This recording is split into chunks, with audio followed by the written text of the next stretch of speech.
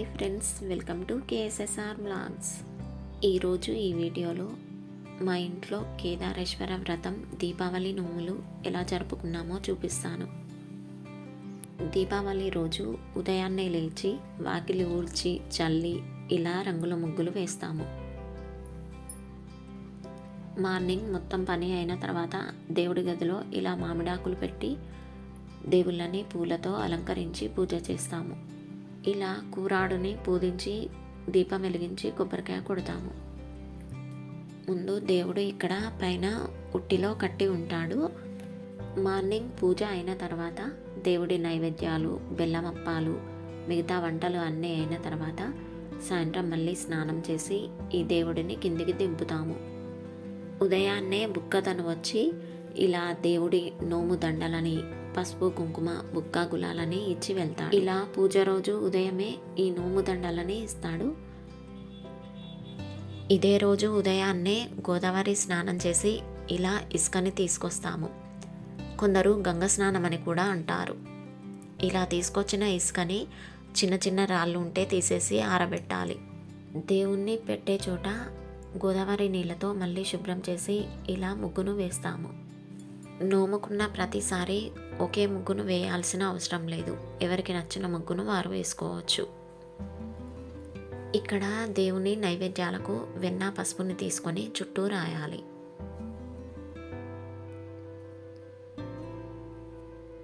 ఇక్కడ ఈ నాలుగు నైవేద్యాలకి కూడా వెన్న పసుపుని రాయాలి. కుంకుమ పసుపు పెట్టి అలంకరించాలి. నోముకున్న ప్రతిసారి కొత్త చాటని తీసుకొస్తాము. ఈ చాటని గోదావరి నీళ్ళతో శుభ్రం చేసి పసుపు కుంకుమలతో బొట్టు పెట్టాలి. దేవుడిని కిందికి దింపిన తర్వాత ఆ కుండలలో ఉన్నటువంటి దండలని డబ్బాలో పెట్టి ఆ కుండలన్నింటినీ గోదావరి నీటితో శుభ్రం చేయాలి. ఆ కుండలపై ఉన్నటువంటి మూతలని కడగాలి. అలా కడిగినటువంటి కుండలకి పసుపుని రాసి పసుపు కుంకుమతో బొట్టు పెట్టాలి. ఇక్కడ దేవుడి నైవేద్యాలకి కంకణాలు కట్టాలి. బొట్టు పెట్టినటువంటి కుండలకి కంకణాలు కట్టాలి. కుండలలో నుండి తీసినటువంటి ఈ నోము దండలని గోదావరి నీళ్ళతో తడిపి పసుపుని రాయాలి. మూడు కుండలలో నుండి తీసినటువంటి ఈ మూడు నోము దండలని వాటర్తో తడిపి పసుపుని రాయాలి. ఇక్కడ ఎల్లమ్మని పూజించి పెట్టాలి. ఉదయం ఇచ్చినటువంటి ఈ కొత్త నోము దండాలని తీసుకోవాలి. ఈ నోముదండలకి మర్రి ఊడలని చిన్న చిన్న ముక్కలుగా కట్ చేసుకొని ఒక్కో ముక్కని పెట్టుకుంటూ ఐదు ముడులు వేసుకుంటూ రావాలి. ఇలానే మూడు నోముదండలని తయారు చేయాలి. ఒక్కో మర్రి ఊడను పెట్టుకుంటూ ఐదు ముడులు వేసుకోవాలి. ఇక్కడ ఒక ప్లేట్లో పసుపు వాటర్ని వేసుకొని ఒక తెల్లని క్లాత్కి మొత్తం పసుపుని రాయాలి. ఇలా క్లాత్ మొత్తం పసుపుని రాయాలి. ముందు రెడీ చేసుకున్నటువంటి నోము దండలని రౌండ్గా చుట్టుకొని పసుపుని రాసి గంగ వాటర్తో తడిపి ఆవు పాలతో తడపాలి. ఇలానే ఈ మూడు నోము దండలని కూడా పసుపుని రాసి గంగ నీళ్ళతో తడిపి ఆవు పాలతో తడపాలి. ఇప్పుడు ముగ్గుపై ఆరబెట్టినటువంటి ఇసుకను రౌండ్గా వేసుకోవాలి. ఆ ఇసుకపై చాటను పెట్టాలి. ఇక్కడ మూడు ప్లేట్లలో కొన్ని కొన్ని బియ్యాన్ని వేసుకోవాలి. ఇలా వేసుకున్నటువంటి బియ్యంపై కుండలను పెట్టాలి. ఇప్పుడు ఈ కుండలని ముగ్గుపై పెట్టి ఆ కుండలలో ఒక్కో మర్రి ఆకును పెట్టాలి. ముగ్గుపై ప్లేట్ పెట్టి కూడా బియ్యాన్ని వేసి కుండలను పెట్టవచ్చు. ఇప్పుడు ఈ కుండలలో ఐదు ఐదు బెల్లం అప్పాలని వేయాలి. ఒక్కో కుండలో ఐదు బెల్లం అప్పాలని వేసి మూత పెట్టాలి. ఇక్కడ చాటపై మర్రి ఆకులతో కుట్టినటువంటి ఇస్తారాకులని వేసుకోవాలి. ఇప్పుడు ఈ ఇస్తార్లలో బియ్యాన్ని వేయాలి. ఇక్కడ కుండలపై పూలు పెట్టి బియ్యం పైన కూడా కుండల చుట్టూ పూలతో అలంకరించాలి. పసుపు రాసి ఉంచినటువంటి క్లాత్ని బియ్యంపై వేయాలి. ఇప్పుడు నోము దండలని ఈ పసుపు క్లాత్పై పెట్టాలి. ఈ మూడు నోము దండలని పెట్టాలి.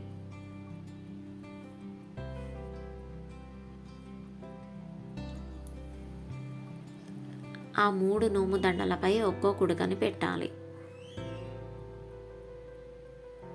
ఆ కుడుకల వద్ద ఒక్కో రూపాయిని ఉంచాలి. ఇక్కడ శివపార్వతులకు ముందు బొట్టు పెట్టి గోదావరి నీళ్ళతో కడిగి ఆవు పాలతో కడగాలి. ఇలా ఆవు పాలతో కడిగిన తర్వాత మళ్ళీ గోదావరి నీళ్ళతో కడగాలి. ఇప్పుడు పంచామృతాలని తయారు చేసుకోవాలి. ఒక గ్లాసులో ఆవు పాలు తేనె చక్కెర నెయ్యి పెరుగు కొన్ని గోదావరి నీళ్ళను వేసి మొత్తం కలిపి శివపార్వతులని అభిషేకించాలి.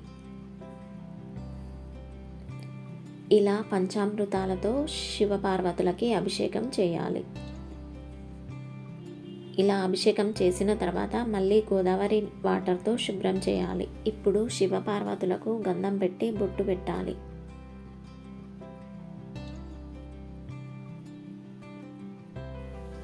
శివపార్వతులను ఇలా బొట్టుతో అలంకరించి చాటలో ఉన్న దండలపై పెట్టాలి. ఇప్పుడు ఈ దండలపైన పసుపు కొమ్ము పోక ఖర్జూరాన్ని పెట్టాలి. ఈ మూడు దండలపైన కూడా ఇలానే పెట్టాలి. ఇప్పుడు మంగళహారతి ముట్టించాలి. ఇప్పుడు మూడు పసుపు గౌరమ్మలని చేసుకోవాలి. ఒక మర్రి ఆకులో కొంచెం పసుపు వాటర్ని వేసి ఇలా మూడు పసుపు గౌరమ్మలని చేయాలి. ఇలా చేసుకున్న మూడు పసుపు గౌరమ్మలను మూడు కుడుకలలో పెట్టాలి.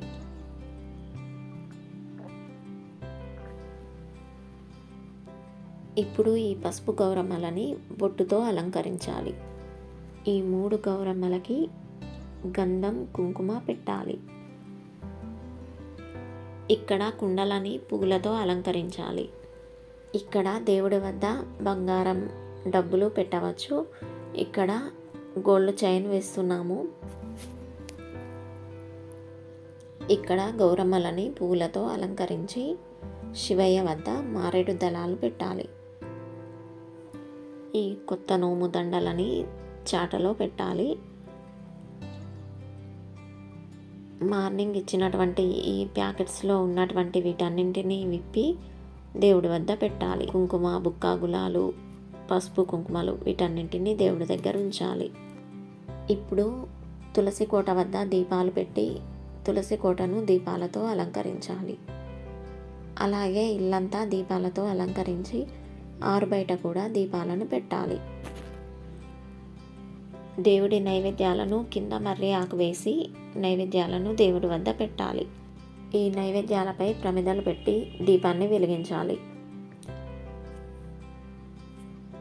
ఇక్కడ దేవుడిని పూలతో అలంకరించాలి. ఇప్పుడు ప్రమిదలకి బొట్టు పెట్టాలి. ఇక్కడ ఒక ప్లేట్లో బియ్యం వేసి ఆ బియ్యంపై అఖండ దీపాన్ని పెట్టి ఆ దీపాన్ని వెలిగించాలి. ఈ అఖండ దీపం దీపావళి నెక్స్ట్ డే అనగా దేవుణ్ణి ఎత్తుకునే రోజు వరకు కూడా వెలుగుతూనే ఉండాలి. ఇప్పుడు ఒక మర్రి ఆకులో పోక పెట్టి బొట్టు పెట్టి కొన్ని అక్షంతలు వేసి పువ్వులు పెట్టి దేవుడి దగ్గర పెట్టి గణపతిలా పూజించాలి.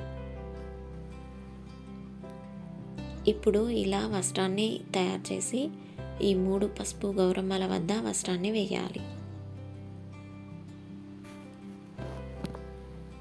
ఇప్పుడు ఎల్లమ్మని పూలతో అలంకరించాలి. ఇప్పుడు ధూప్ స్టిక్ని వెలిగించి పొగని దేవుడికి చూపించాలి. ఇప్పుడు మూడు నోముదండలపై ఐదైదు బెల్లం పాలని పెట్టాలి. మామిడాకుతో పూజా సామాగ్రి అన్నింటిపై నీళ్ళు చల్లి తలపైన కూడా నీళ్ళు చల్లుకోవాలి. ఇప్పుడు కథ చదవడం స్టార్ట్ చేస్తారు. ఇలా కథ చదివినంతసేపు దేవుడికి పూలు అక్షంతలు వేసుకుంటూ ఉండాలి. లేదా పూలు అక్షంతలు చేతిలో పట్టుకొని కథ చదివే అంతసేపు మహాభాగ్యం మహాభాగ్యం అనుకుంటూ కథ చదవడం అయిపోయిన తర్వాత ఒకేసారి దేవుడి వద్ద పూలు అక్షంతలని వేయవచ్చు. ఇప్పుడు అగరొత్తులను వెలిగించి దేవుడి వద్ద పెట్టాలి. ఇప్పుడు కొబ్బరికాయను కొట్టాలి. ఇప్పుడు ఈ కొబ్బరి వక్కలలో కొంచెం కొంచెం చక్కెరను వేసి ఆకుతో వాటర్ని వేసి దేవుడికి చూపించాలి. ఇప్పుడు మర్రి ఆకులలో పరమన్నం పసుపన్నం పెట్టాలి.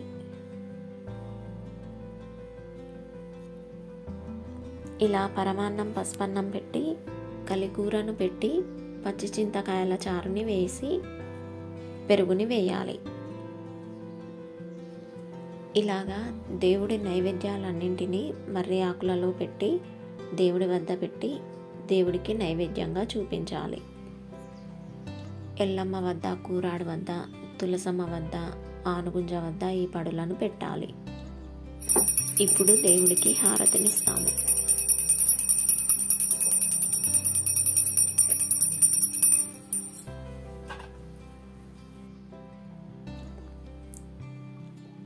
ఈ హారతిని దేవుడికి చూపించి ఇంట్లో ఉన్న వాళ్ళందరము హారతిని తీసుకుంటాము.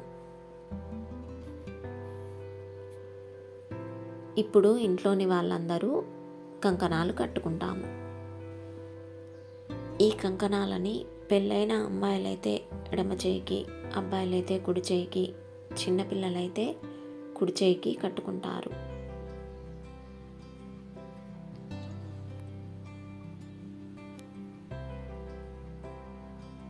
ఈ దేవుడి దారాలను కూడా చేతులకు కట్టుకోవచ్చు. ఇప్పుడు మళ్ళీ కొబ్బరికాయలు కొడతాము. ఇలా కొబ్బరికాయను కొట్టి ఈ వక్కలలో చక్కెరను వేసి దేవుడి వద్ద పెట్టాలి. ఇప్పుడు దేవుడికి మంగళహారతిని ఇస్తారు.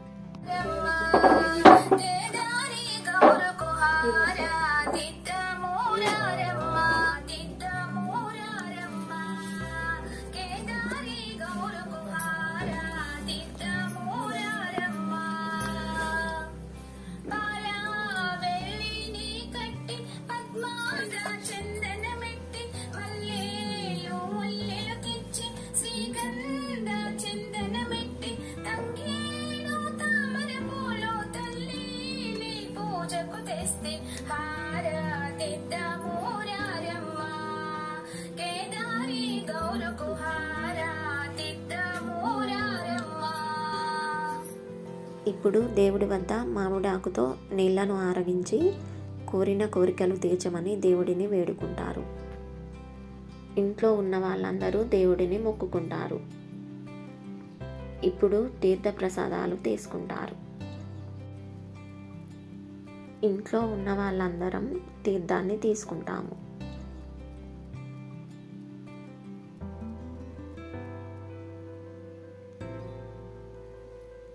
ఇప్పుడు కుడకల ప్రసాదం తీసుకుంటాము. ఇంట్లో ఉన్న వాళ్ళందరము ఈ కుడకల ప్రసాదాన్ని తీసుకుంటాము. ఇలా తీర్థ ప్రసాదాలు తీసుకున్న తర్వాత ఫాస్టింగ్ ఉన్నవారు దేవుడి వద్ద ఉన్న పడులను తిని అన్నం తింటారు. మా ఇంట్లో చిన్నపిల్లలు తప్ప పెద్దవాళ్ళందరం ఫాస్టింగ్ ఉంటాము. ఈ కేదారేశ్వర వ్రతము నోములు చేసే రోజున ఫాస్టింగ్ అంటే మేమైతే టీ తాగుతాము.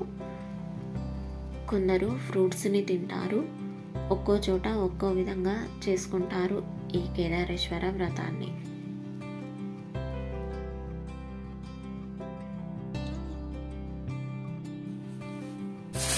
ఇక్కడ దేవుడి వద్ద క్రాకర్స్ కాలుస్తున్నాము. బయట చిచ్చుబుడ్డు బాంబులు పేరుస్తున్నాము